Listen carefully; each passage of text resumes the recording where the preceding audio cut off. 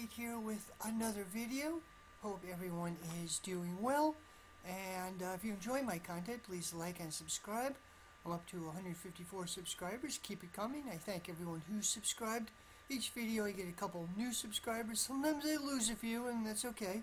Anyway, I'm not making money out of this. I'm doing it for a hobby right now, but it does help. Hoping to sometime, someday make my channel into a part of the left, uh, tool for activists, and, and so on. Uh, also, I'm promoting it on Rumble right now because of YouTube censorship. They took down a video I made, like video before last. So to avoid that, I'm, I'm focusing more on promoting Rumble. I'm, all, I'm still on YouTube. So if you could uh, go over to my YouTube channel, it's We Are Many slash They Are Few. I'll provide a link. If you could subscribe to that as well, besides the room watching Rumble, it, it would help me out a lot, and I do appreciate it. Okay, this video is on the looming food crisis. Some interesting stuff coming up. First, the uh, thumbnail, Greta Thunberg. I uh, I posted this on Facebook last week or a few weeks ago. I got a lot of criticism from people. Um, I first found this thumbnail, as far as I remember, from Twitter. It was posted by this guy Steve uh, Poikonen, who does uh, YouTube or uh, now it's on he's on Rokfin Slow News Day, which is really interesting, and also does uh, Morning AM with. Uh, Pastor Jardula, who's part of the Convo Couch. They have interesting commentaries, sort of from a left libertarian perspective. Interesting stuff you don't find anyplace else. Anyway, Steve, I interviewed Steve about a year ago on, uh, on Assange. He's a like, chair, president of the Assange Solidarity Committee in North America. He does some really interesting work, um, interesting commentary. So he posted that uh, me about Greta on, uh, I believe it was him on Twitter. I got some really feedback, push negative pushback from it. One person I know, an activist, local activist, who is really great guy, good guy. I, I, I've worked with him. Um, he was chair leader of the state Green Party for a long time, and then he was in the ISO, and now he's in the DSA. I'm not sure what he's doing. Great guy. I disagree with his politics. I think his politics are pretty much in a liberal direction, but you know, I, I like him a great deal. But anyway, um, he criticizes the Greta meme was, was reactionary. So you know, I want. He said, I want to eat bugs. I'm really looking forward to eating bugs. There's so many people have this reactionary take on Greta, and also people uh, on Facebook, Facebook left. People compared Greta with uh, with uh, uh, uh, Kyle Rittenhouse. So he said, well, at least Greta isn't Kyle Rittenhouse. You're defending Kyle Rittenhouse. Like, what? Like, it had nothing to do with... Greta Thunberg It has nothing to do with Kyle Rittenhouse there was this really dumb meme going around comparing, see, this is the left, and showed Greta, Greta Thunberg, and this is the right, Kyle Rittenhouse. See, that's what we do. That's the difference between the left and the right, which I think is idiotic. It's like that meme was idiotic. It's Democratic Party uh, culture war stuff, basically, nothing to do with class struggle. So I think we need a deeper Marxist critique of what's going on. So there's this uh, Canadian journalist, Cory Morningstar, uh, she's a, she's a leftist. She uses Marxist analysis. Uh, she's in solidarity with the indigenous uh, environmental movements in Bolivia. She got some award from Evo Morales in solidarity with, with you got some recognition from the Bolivian state, the Plurinational Republic of Venezuela, of, of, of Bolivia, and I'm sure she's been there. She writes about environmental issues and also she writes about the corruption and hypocrisy of the uh, the uh, official uh, official environmental movement, the corporate how corporatized it is. She's done an expose writing analysis, analyzing what's going on with Bill McKibben's 350.org movement, how it's close to the Democrats and you know corp for corporate agendas. Some pretty insidious things going on. Cory Morningstar insists that climate change is real, and yes, the stuff they're concerned about absolutely is real, but the way the ruling class or the corporate corporate uh, uh, uh, corporate elite is dealing with this is pretty insidious. And she wrote a book on uh, on uh, uh, Greta Thunberg. It's called The Manufacture of Greta Thunberg. A disclaimer: I haven't read the book yet. I've read reviews of it and I've read parts of it, and I, am familiar with it with Cory Morningstar's thinking on this. Basically, what she says. Okay, what she says. first, Cory Morning, Greta Thunberg it was no her rise to global fame was not organic, uh, no pun intended, but she very quickly was an obscure high school kid who protested from the Swedish parliament, and she ro rocketed to worldwide fame overnight. She was heavily promoted by several Swedish environmental NGOs, pseudo NGOs. Basically, these groups were uh, Cory Morningstar analyzes, were essentially thinly disguised front group for Swedish high-tech investors, a group of Swedish high-tech investors, and they propelled, push Greta to worldwide fame. And she says, Cory Morningstar says, you know, they're using her, some of the capitalist are using her for their own agenda, which includes like a green bubble. They want to talk about green bubble, and also on a deeper level, uh, they want to do like kind of what happened on, the pandemic, how the U.S. government, U.S. state reacted to it. There's the CARE, there was the CARES Act, which represented a $3 trillion transfer of wealth upwards, the highest in U.S. history. Bernie Sanders, by the way, voted for it. He admitted that he made some excuses that he felt he had. It's a shitty, shitty bill, but he had to vote for it. AOC probably voted for it. It was an unrecorded voice vote, but it was horrible. And you don't hear much about it now, but it was horrible. And it represented a fantastic transfer of wealth upward. Also, the lockdowns facilitated a greater centralization of capital. Small businesses went out of business everywhere, and Amazon and other big firms gobbled things up. And of course, global equity firms like Vanguard or BlackRock and so on bought up a lot of assets, and they are buying up global assets. So Cory Morningstar analyzes, you know, that's kind of what's going on. And really, these people are not going to solve climate change either. They're, they're dealing with it environmental problems in a capitalist direction, preserve the capitalist mode of production.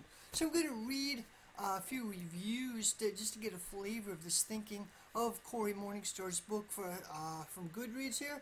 Um, hold on. Okay, so Goodreads. So uh, this is um, hold on a second.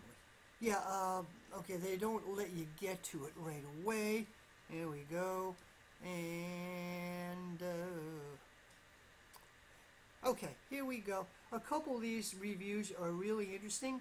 This is from uh, Hiroyuki Hamada. He's a sculptor, he's a Marxist. I'm familiar with his work. He's a sculptor on Long Island, and he's a, he's a Marxist. He said, This is an important case study on how the global capitalist hierarchy behave in protecting its framework.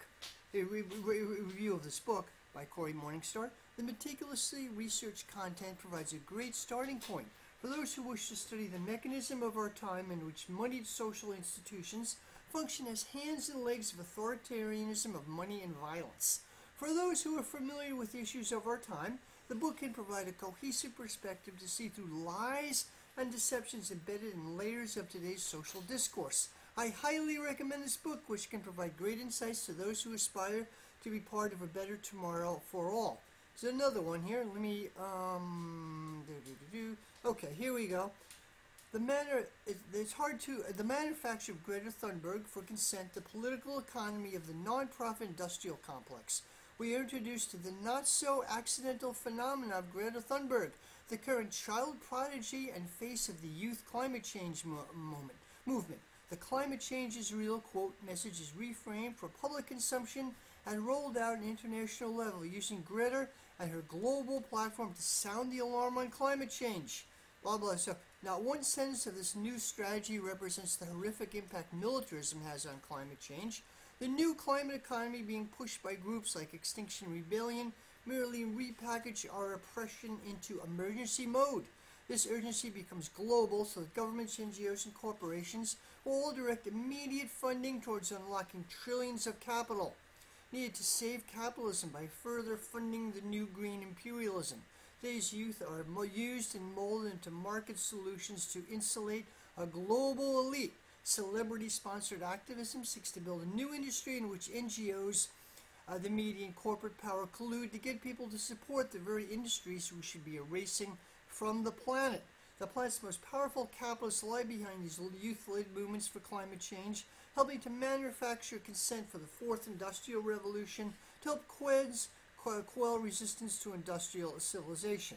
So it goes really interesting. It's a critique of uh, the, the, the uh, Green New Deal and so on from the left. Now, here we go.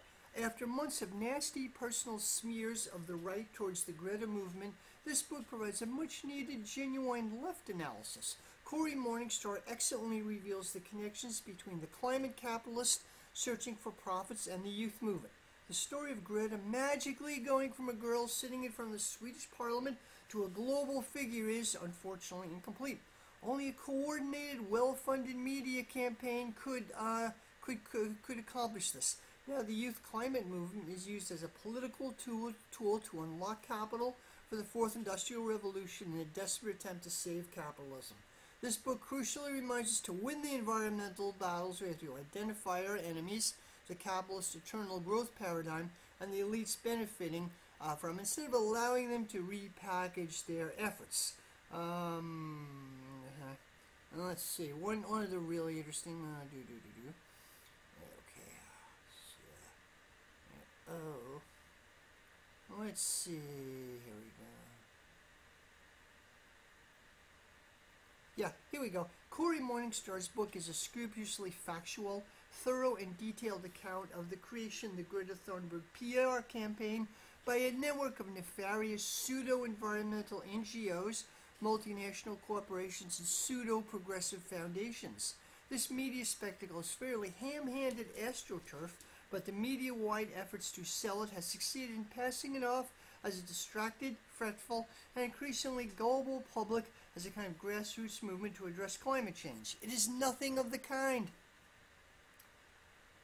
Uh, it is really a fraud designed to usurp the real grassroots environmental movement led on the global stage by Evo Morales and the global peasant movement through such organizations as Viva Campesina, which is what Cory Morningstar counterposes to the, this phony environmental movement. Thunberg is sponsored by extremely malign, polluting, rapacious organizations like the World Economic Forum, the Omidyar Group, and other Silicon Valley high-tech media and energy multinationals, and the fascist NGO Population Matters, which is population reduction, kind of eugenics, to carry out the whipping up of public hysteria, encourage magic thinking and scientific irrationalism, flying the empty brand banner of, quote, science, in order to carry out an enormous swindle.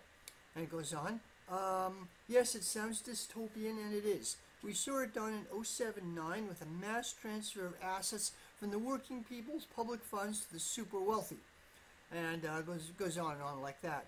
And um, so, Cory Morningstar points out, you know, critiques the so-called fourth industrial revolution, which is overhyped, but basically calls for smart cities, smart houses, like much greater centralization, much greater surveillance and control of populations, and a massive uh, restart capitalism, essentially reacts to the deeper crisis of capitalism, the overaccumulation of capital, and so on. Uh, back in, I think it was 2017, I briefly chatted with David Harvey, the, the Marxist geographer, and he was, he and some others were taught a panel at Left Forum in 2017. He and some other people were talking about, you know, how the ruling class could remain the ruling class in a post-capitalist economy, like not in a good way. We could reach a post-capitalist economy, but not a good thing and the ruling class could, you know, capitalist mode of production would be supplanted as the logic of capital accumulation no longer holds, but ruling class could stay on top in other ways, and this could be part of a way to do it. And Cory Morningstar and many other people have critiqued it, so we need sort of a deeper analysis of what's going on with, with uh, Greta Thunberg. Nothing against her personally. I personally like her, I think she's a wonderful person.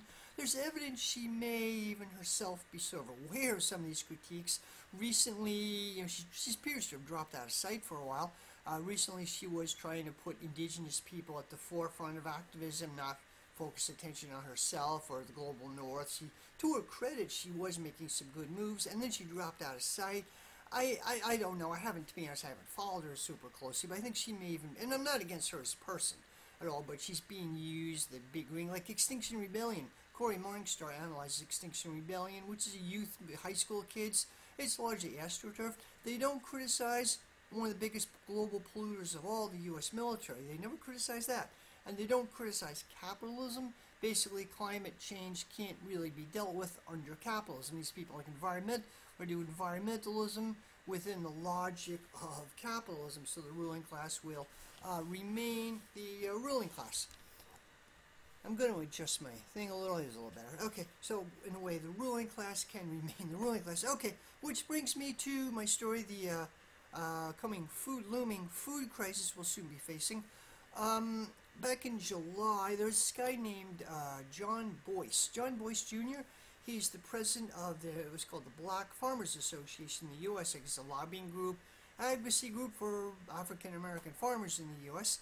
And in July or so, there was, oh, start off, uh, last March, Joe Biden made a speech, a fundraising speech. He, he mentioned uh, food, coming food crisis, and he blamed the war, the, the, the, the Ukraine war, the Russian invasion of Ukraine, and he's partly partly right. I mean, nitrates, which are used in fertilizer, skyrocket in, in, in, price, and a whole bunch of reasons. And uh, Biden, Biden talked about food crisis, looming food crisis. He's not doing anything about it.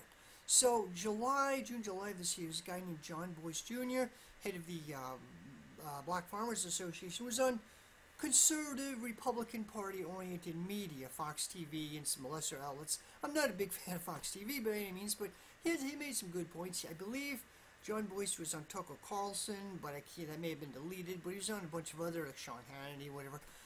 Okay, he said, you know, the, over the past year, from July 2021 to July of 2022, price of nitrate-based fertilizer and other resources farmers need, other imports have tripled. It's gone up three times in price. And this is being passed along to the consumer. Uh, he talked about that Biden isn't doing anything about it. No, son, Biden mentioned it in his speech in March, but he doesn't appear to be really doing anything about it.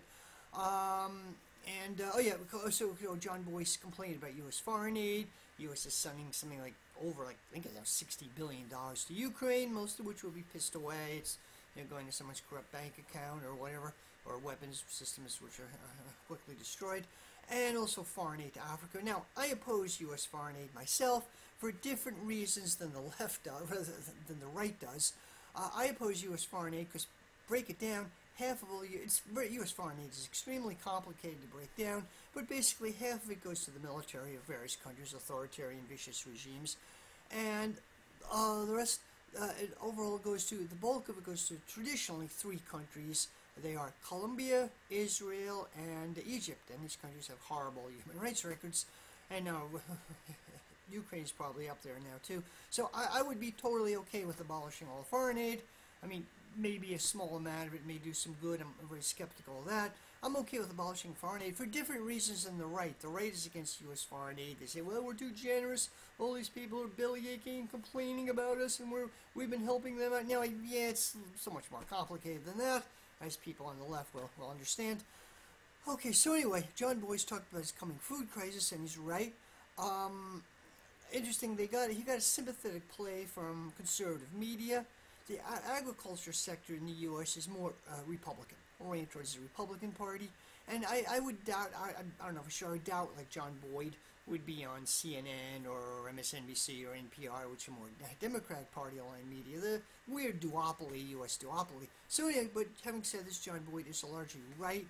The U.S. currently has an inflation rate of 8.5%, which is high by recent standards, historical last couple of decades, pretty high as I understand. Reason why, combination of reasons, but again, the way the U.S. state uh, dealt with the lockdowns, the pandemic lockdowns, 40% of all dollars that were printed throughout U.S. history were printed in that two-year period, from 2020 to 2022, something like that. And of course, there's obviously and, uh, uh, going to be an inflation. There are, there are other factors as well, but there's going to be an inflation obviously. And deeper level, the U.S. industrial base has been hollowed out. They only keep some prosperity going by recurrent uh, uh, bubble economies. And there's a deeper you know, overaccumulation of capital and things, deeper crisis of capitalism. And the system is like thrashing, thrashing along, trying to, you know, okay, anyway. So yes, so U.S. inflation rate is at officially 8.5%. Agricultural product, food products has gone up about 11%. And it's varied, especially meat-based products have really skyrocketed. And let me just go through my uh, notes here. And, uh,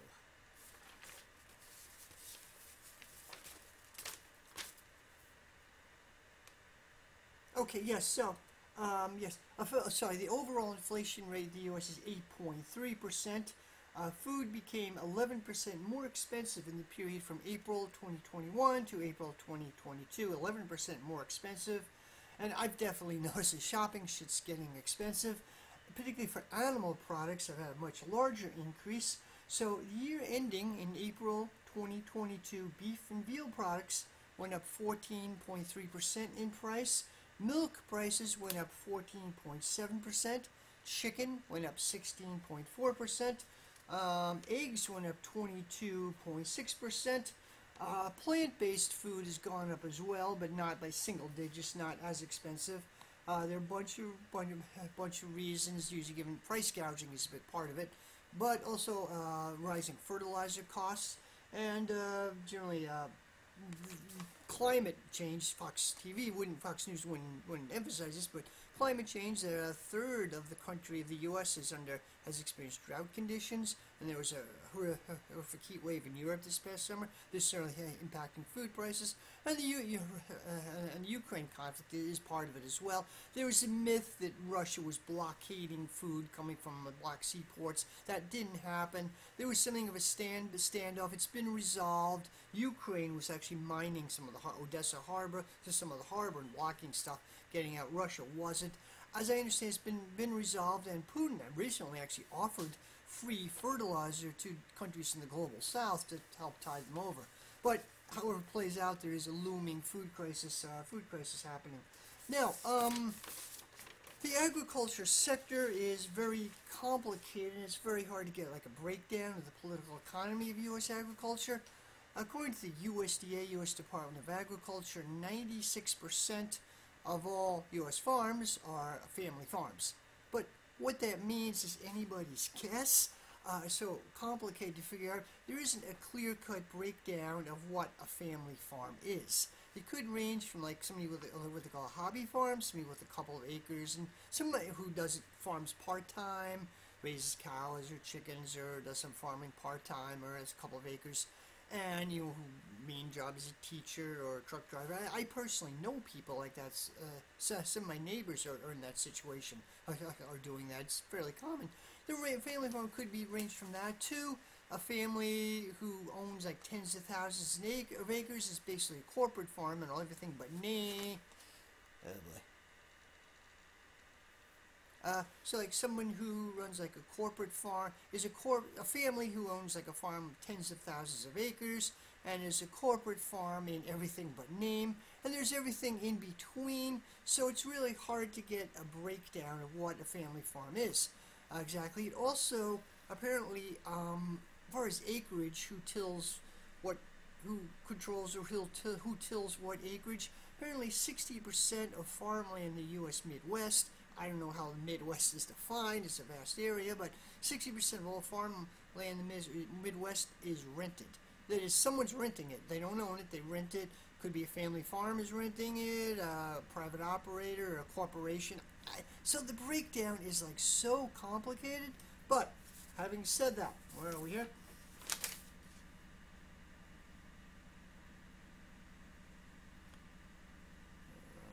So, yeah, hold on. Hold on here, I'm gonna have to delete some of this, but uh, okay.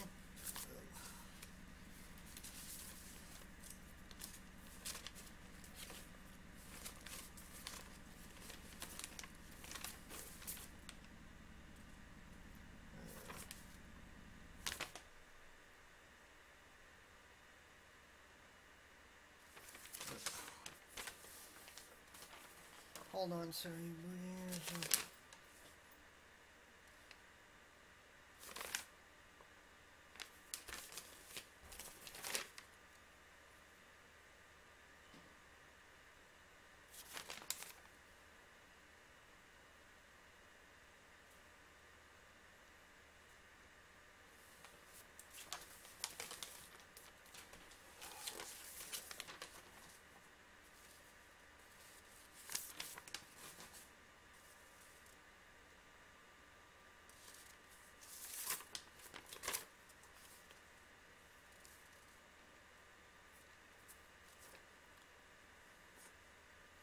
So yeah, okay. So family farms are, you'll often see a statistic according to USDA, U.S. Department of Agriculture.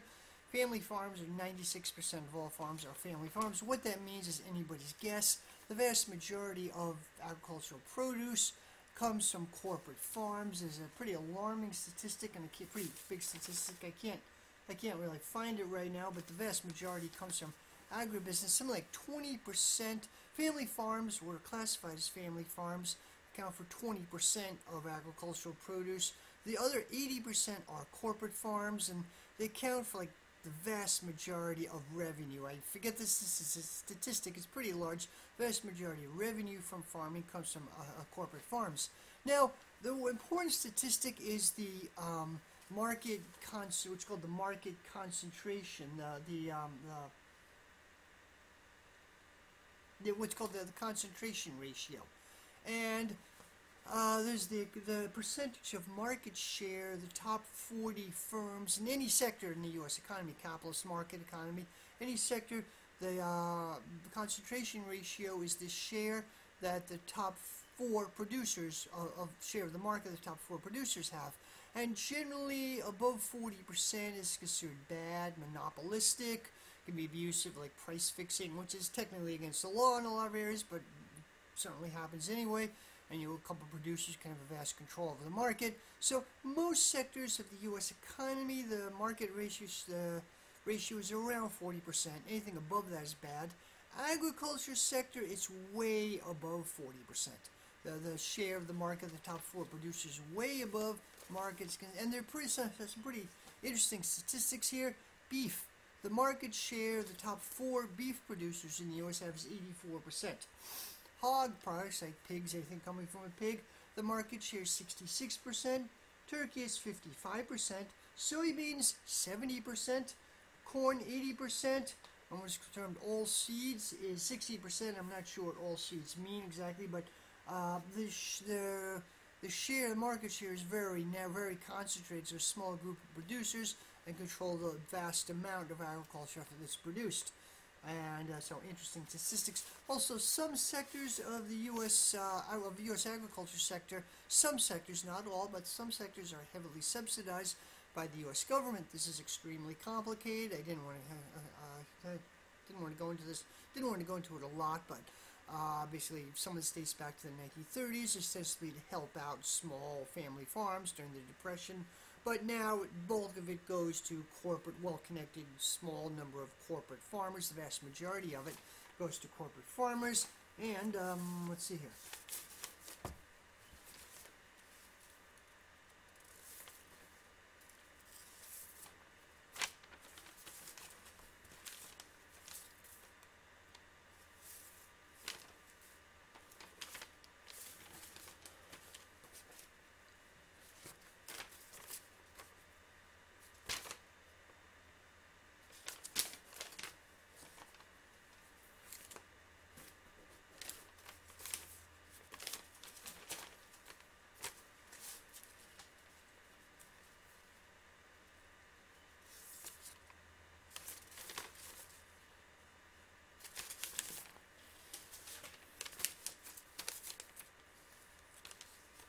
Okay, here, sorry, I found my statistics here. So yeah, um, farm subsidies are ostensibly to help struggling family farms. Actually, massive subsidies go to uh, capital-intensive farms, and they mostly go to soy, corn, and wheat. Um, okay, so um, here we go. Five major crops are subsidized the most. They are corn, soy, soy, wheat, and cotton. And cotton has a long history of exploitative practices. The majority of farm subsidies go towards products feeding animal, animal agriculture. So nearly two-thirds of government farm subsidies go to animal feeds and um, only the vast majority of it go to these. Only 2% of government subsidies go to uh, fruit growers and vegetable growers. The vast majority go to feed for animals as indirect subsidy of the, of the meat industry and the subsidies are complicated agricultural price supports, like the government pays farmers not to grow things to keep the price up. There was a complicated system of, of direct subsidies. I think they sort of phased that out. There's foreign aid. Foreign aid is a form of agricultural subsidy. Um, in fact, um, uh, during after NAFTA, the U.S.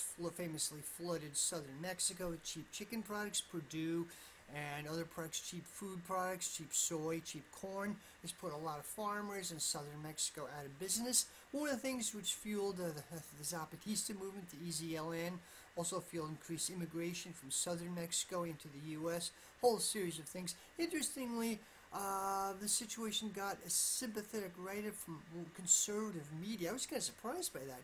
But some of the right-wing outlets had something on this incident, how the U.S. flooded particularly Perdue chicken flooded southern Chiapas with, with cheap chicken products. Uh, the right wing, or conservative media talk to us. I'm not entirely sure why. I'm a bit puzzled when you ex- wouldn't expect the right wing to have a sympathetic view of U.S. corporate exploitation of the global South. But anyway, so where I'm starting to find my notes here. So it's a complicated system of subsidies.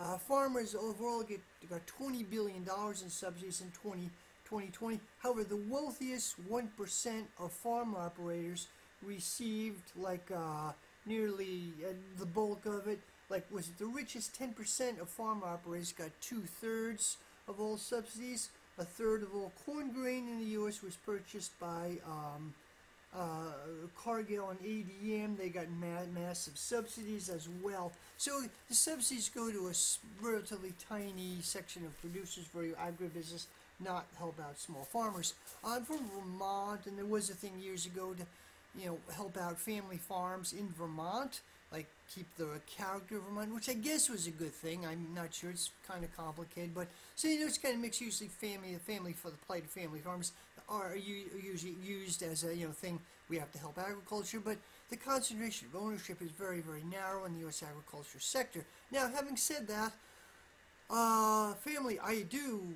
Family farmers are often in a difficult situation. Uh, the profit margin is very low. Often it's very barriers to entry, very hard to get into being a family, being a farmer for young people. Uh, machinery is very expensive. The only way you can really get into it is by family connections. If your family's already doing it, otherwise it's very, uh, uh, very difficult field to break into. Unless you do something like a you know hobby farm or, or, or you know, a small hobby farm or something. A lot of people do that, but have a big operation which you do as your main gig. It's extremely difficult to break into, and farmers are up against it. Definitely, uh, definitely up against it. So I feel sorry for family farms, family farmers. It is a struggle for for them, but it's a, it's a complicated situation. So my point is, though, agriculture is under a lot of stress. Uh, we are reaching a food crisis, uh, partly because of nitrates. Uh, it is due to, to, to the uh, Ukraine conflict, not the fault of Russia. It's the fault of the sanctions. Like literally, Europe, European Union is not buying any natural gas from Russia. The last 30 years, Europe and to some extent the U.S. became heavily dependent on resources from Russia, and uh, like nitrates, uh, natural gas is a big component. We get the nitrates to make synthetic fertilizer. That's used part of, of modern agriculture. So it's like Europe is undergoing like suicide, voluntary economic suicide right now. I'll talk about that in a minute. But so this is jacking up the price of food. It is getting expensive. I remember for my feed my dogs like Little Caesar dog food. A lot of it's filler, but my dogs do seem to like it. It was really cheap. It went for 88 cents, like soft dog food, 88 cents a container. Now it's like a dollar fifty a container. Like shit's getting expensive, a lot of ways. Okay, so U.S. agriculture sector is very complicated. So my next thing is the um, Dutch farmers. Dutch farmers, epic last couple of months, epic protests. Ignored, as far as I know, ignored by most of the corporate media, uh, CNN, NPR, whatever, as far as I know. But uh, epic protests, huge protests in the Netherlands, and it, uh, of course, solidarity protests in Germany, Italy, and elsewhere. This was kind of percolating and started around 2019, but really took off in July this year. Uh, the Dutch government cracked down big time on use of nitrates, uh, which is fertilizer, and also farm animals, like urine. They, they release nitrates in urine. Now, nitrogen pollution is not connected to global warming per se, but nitrogen pollution is a problem, absolutely, and nobody, nobody would say it isn't. It is a problem uh, it creates dead zones in the North Sea and is very bad. um, but people say, even environmentalists say, this is, these measures are really draconian. It's something like uh, mandating a, I think, bef- between 40 and 70 percent varies from different parts of the Netherlands, but 40 70 percent uh, uh, uh, uh, less livestock.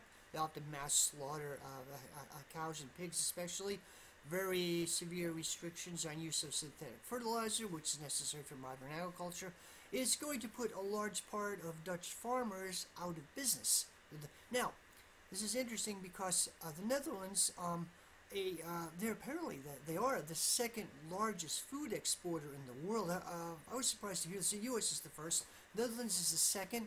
Um, it's outside the cities. It's very intensely cultivated. Like Dutch people reclaim like what they call polders, reclaim land from the sea, from the North Sea. This goes back to maybe the 13th century, way, way back. And the Dutch people have been really good at this for hundreds of years and very intense, very intensely cultivated. Uh, well, um, apparently it's very intensely cultivated. The Netherlands is a major food exporter. They're the largest meat exporter to Europe and the second largest exporter of food in general in the world, mostly to European Union countries. A quarter of their ex food export uh, goes to Germany, and the rest goes to other countries. Agriculture is 10% of the Dutch economy overall, so it'll have a, a devastating impact. And it's going to have an impact on the, the global food supply just as a time when food supply chains are becoming fragile and really uh, under attack for the reasons I, have already mentioned climate change, bad harvests, and, and uh, nitrates raising and rising in price, and things like that. So there's been enormous protest movement and uh, huge epic protest movement all over. Now, uh, the gray zones, the leftist outlet, the, the, they have a sympathetic view of it. It's environmental protection, environmental regulation in the interest of billionaires, not in the interest of the common people, in the interest of billionaires. And you know, Dutch farmers say, you know, first they, they have reduced fertilizer back, nitrate nitrate use back in the 1970s was really horrible. Netherlands was a huge emitter of nitrate pollution. They've dramatically reduced it from them and from then. And Dutch farmers say, you know, more of a phased-in approach would be better. They want to work with the government, work for them. So they, they think you know, climate change is real, and they are sincerely interested in this. They want to work with the government, do a more gradual approach. But um, what the Dutch government do, is doing is really insanely draconian, like putting I think it's close to a third of all Dutch, maybe more Dutch farms out of business. And it's just irrational, irrational situation. There's more stuff going on than this. There's, um, Gray Zone doesn't mention this, but there's some buzz. I'll post another article.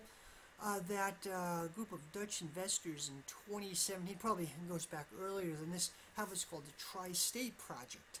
a huge investment project. They uh, basically build a city, a megalopolis, huge megalopolis of say 30 million people, push 30 million people into this area surrounding Am- with Amsterdam kind of as the epicenter, but would include uh, Germany and Belgium, hence tri-state. I, I come from the northeast U.S.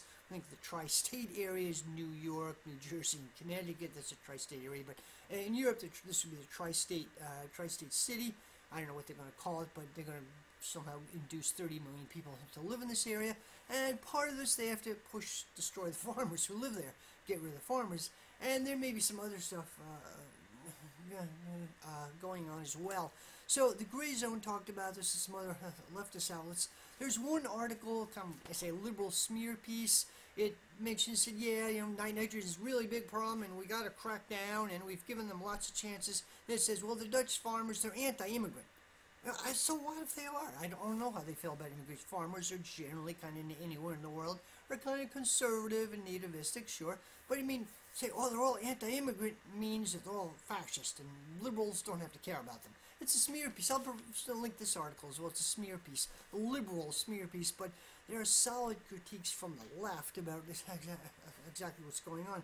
This is on top of the fact that in Europe, uh, in, Europe is facing a gargantuan energy crisis. Uh, energy crisis. The, the sanctions against, against Russia. They're not there. Nord Stream 2 is canceled, but Nord Stream 1 is also now canceled.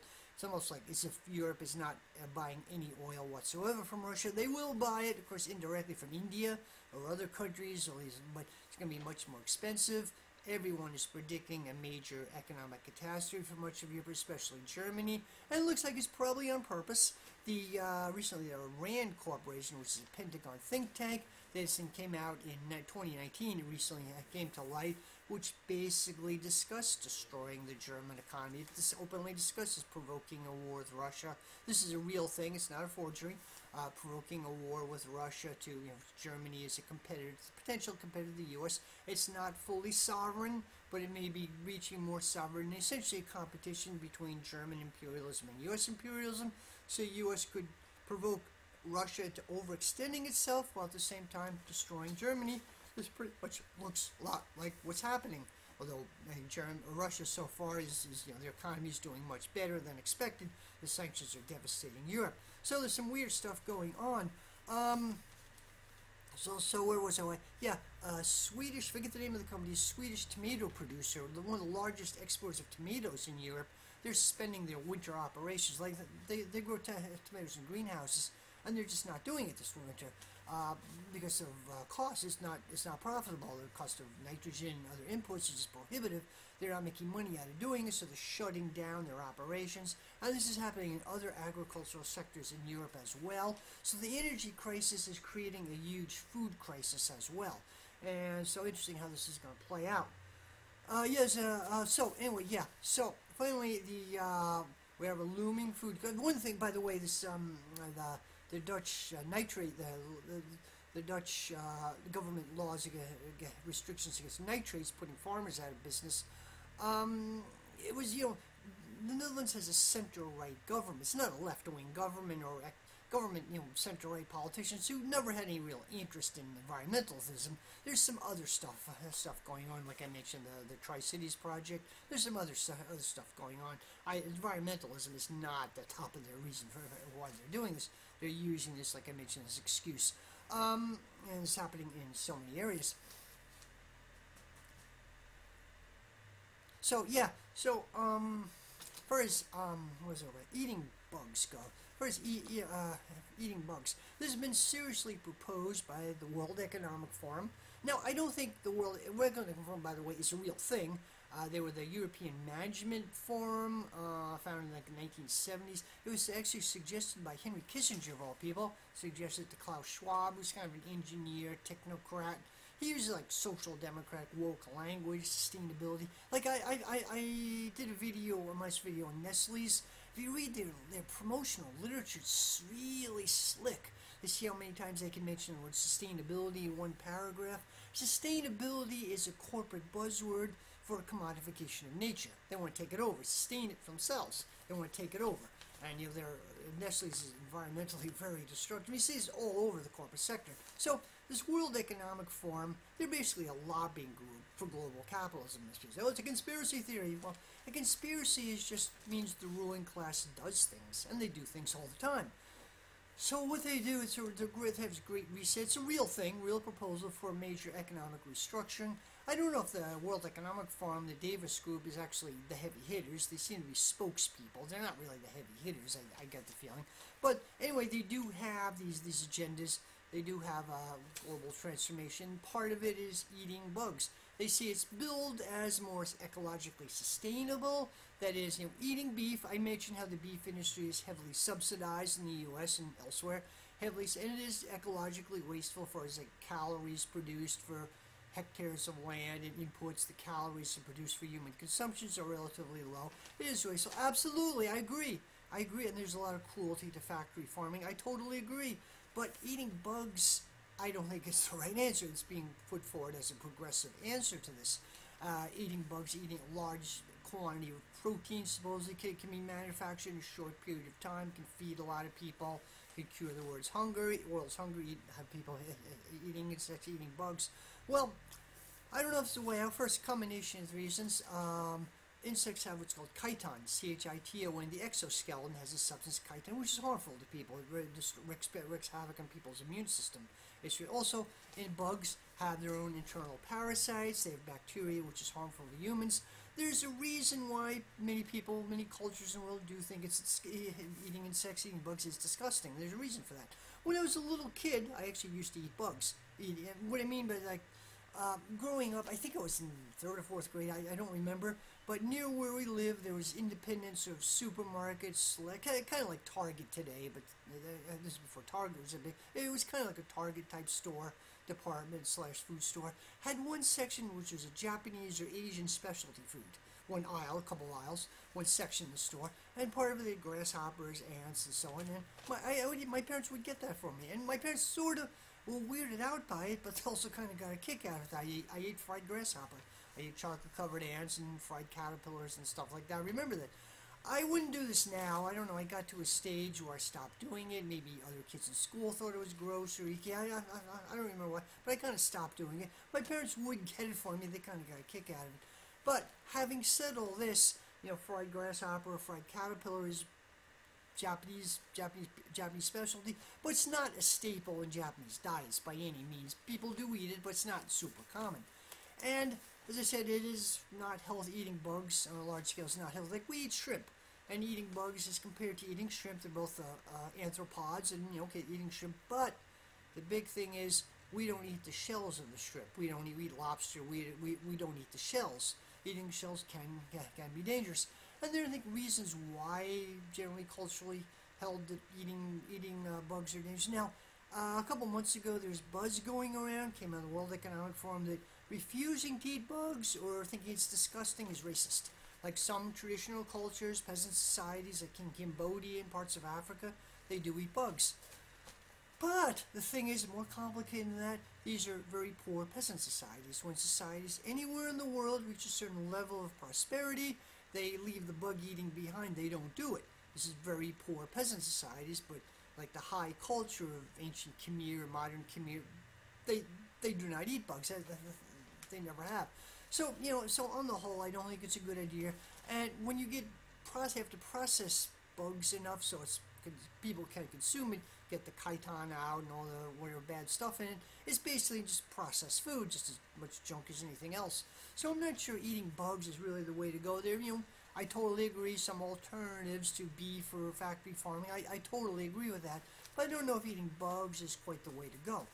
And uh, okay, so there's this. Um, so there's the uh, Dutch farmers thing is for farmer the restriction on nitrates. Much of it is linked to the UN, what's called Agenda 2030, which the World Economic Forum was a big proponent of. That's complicated. It's uh, environmental regulations, and you can look it up online. It's very comprehensive.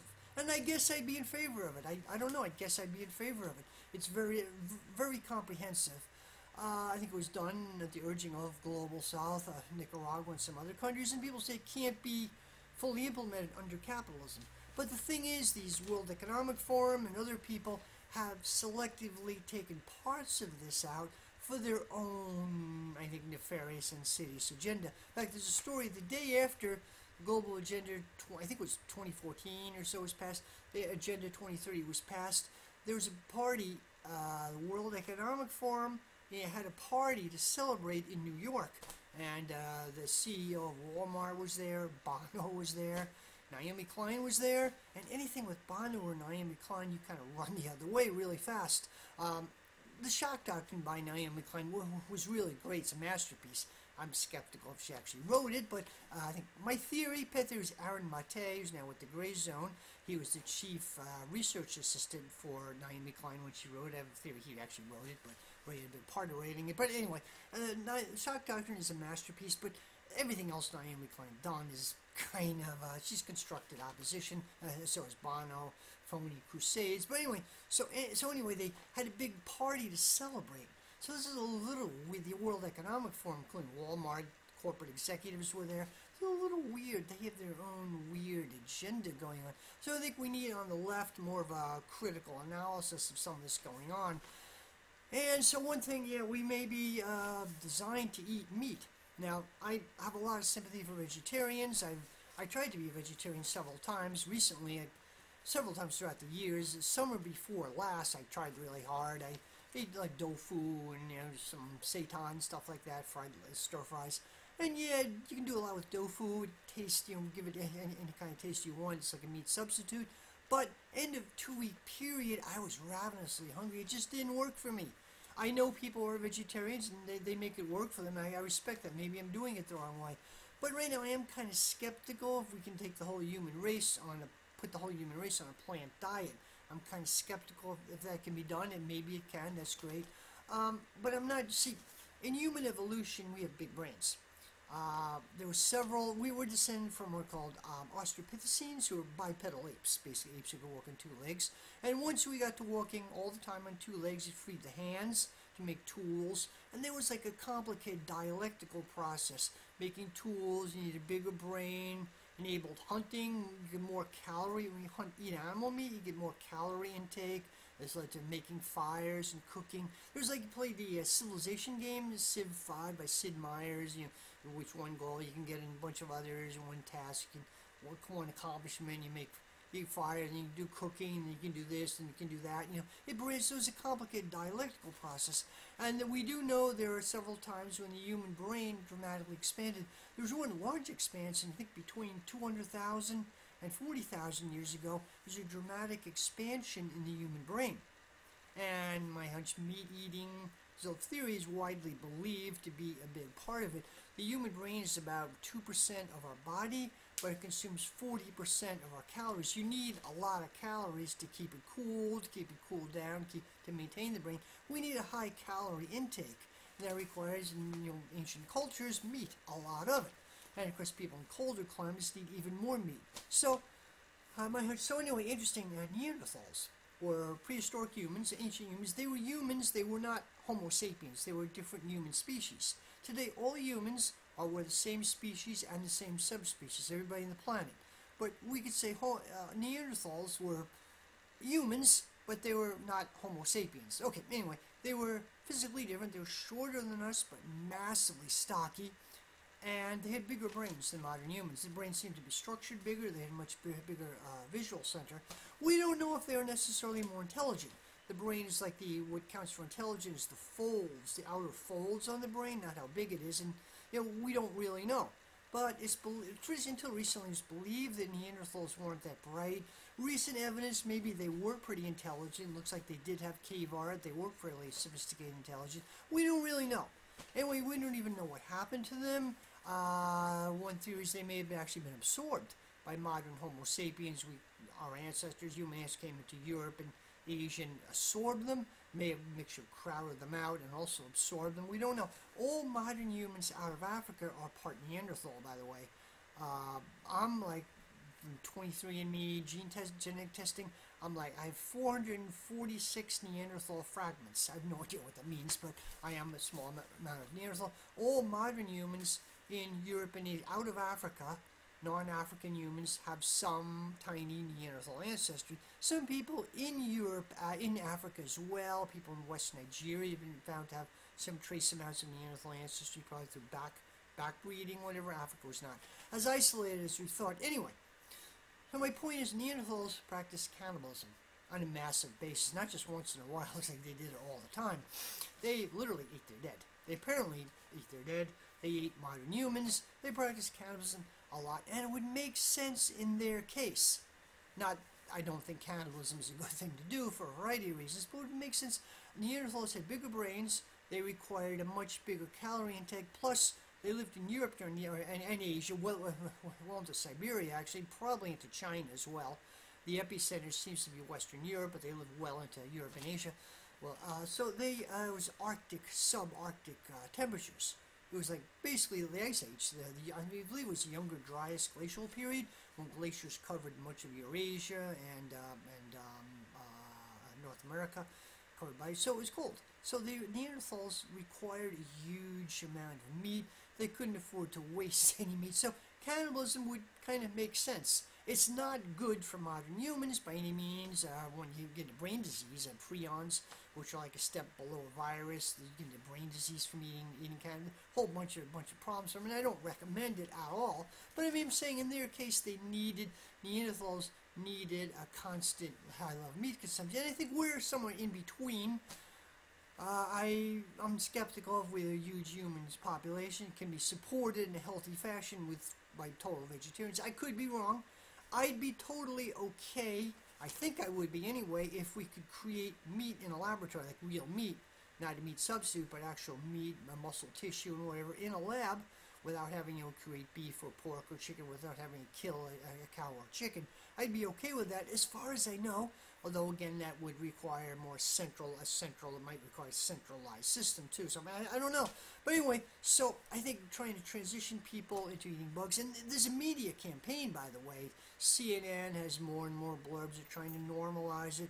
There are campaigns in Australia to make it popular, like chips made from bugs, and trying to get kids, school children, to more eat bugs. It's kind of a campaign to normalize it. And I think, you know, their ruling class, global ruling class, they're not going to eat bugs. I mean, the global ruling class, they're Klaus Schwab is going to have his, like, a joke with a friend of mine. He's going to have his Knackwurst and Bratwurst and Steiner beer. He's not going to eat bugs. And his friends are sure as hell not going to eat bugs. Uh, uh, Warren Buffett's not going to eat bugs. Bill Gates is not going to eat bugs. I mean, sure, but they're recommending it for everyone else. It may not be the best alternative. So I'm just saying we need more of a sophisticated leftist analysis of what's going on from the Gray Zone or uh, Cory Morningstar and some of our, our co-thinkers. So anyway, that's it. If you enjoy my um, my work, please subscribe. Helps me build the channel. And uh, yeah, my next video is going to be on um, on uh, uh, MAGA communism, which is the shit lips of the right. A weird uh, tendency which evolved recently. Anyway, hope you enjoy my work. Thank you, and uh, goodbye.